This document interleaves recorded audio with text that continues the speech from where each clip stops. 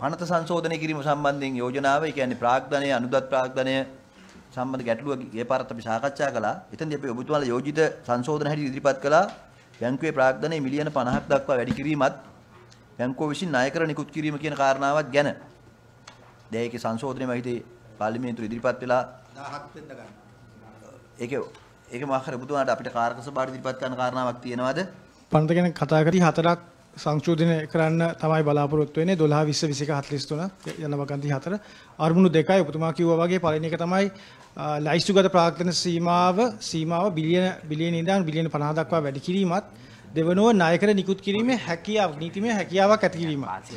ඉතින් ඒ අරමුණු දෙක සම්බන්ධයෙන් කිව්වොත් 12 අදාළ වෙන්නේ ලයිස්තුගත ප්‍රාග්ධනය සම්බන්ධයෙන් බිලියන 1 ඉඳන් බිලියන 50 දක්වා වැඩි කිරීම. දැන් සාධාරණව කෙනෙකුට අහන්න පුළුවන් මොකද්ද බිලියන 50ට උන පදනම කියලා. ඒ පදනම තමයි ලංකා බැංකුවේ පනත ඒගොල්ලන්ගේ ඕඩිනන්ස් එක යටතේ 397 7 1 යටතේ සඳහන් ඒගොල්ලන්ගේ ලියාපදිංචි ප්‍රාග්ධන සීමාව බිලියන 50යි කියලා. ඒක 2000 වසරේ ඉඳන් ඉඳන් තිබුණ දෙයක් බිලියන 50 කියන සීමාව.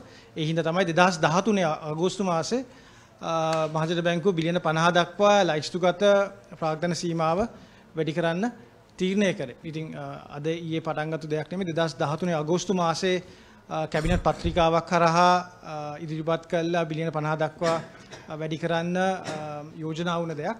ඒ බිලියන 50 නායකර සම්බන්ධයෙන් වුණ සංශෝධන ඒ කියන්නේ 20 21 43 2014 15 ඒ කියන්නේ ඒ සම්බන්ධව ඒ කියන්නේ ඇඩ් වුණ සංශෝධන 20න් කියන්නේ 20 තියෙන ලොකුම කන්සර්න් එකක් පාර්ලිමේන්තු ඩිබේට් එකේදී මතුවන දෙයක් තමයි ඇයි මුදල් මණ්ඩලය 20න් ගලවන්න කියලා.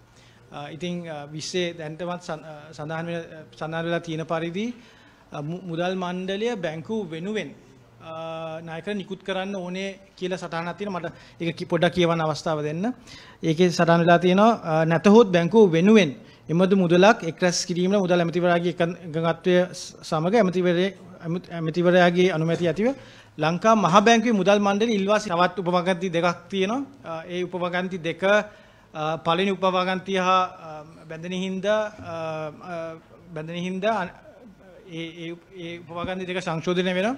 ඉතින් ඒ කියන්නේ හුඟක්ම තිබ්බ කන්සර්න් එක තමයි මොන්ටරි බෝඩ් එකේ සුපර්විෂන් එකෙන් බැහැරව මහජන බැංකුව යනවද කියන කියන දේ. ඉතින් ඒකට උත්තරේ තමයි සාධාරණව කියන්න ඕන.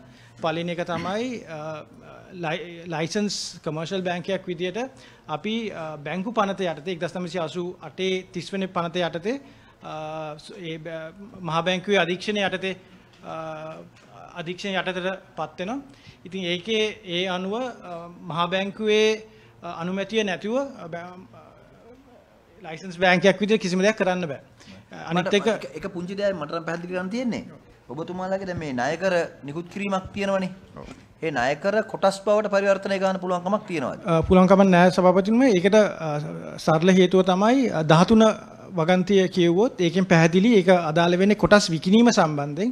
ඒකේ අන්තර්ගතය තමයි රජය නොවන කෝපරේටිව් සොසයිටියක් නොවන ආයතනයකට කොටස් වල හිමිකාරත්වයක් තියෙන්න බෑ කියන දේ තියෙනවා. ඉතින් 13 මේ සංශෝධන හතරේ එකක් නෙමෙයි.